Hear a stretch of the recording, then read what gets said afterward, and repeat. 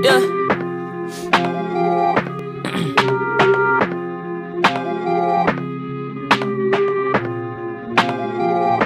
Shut it back, or something, something.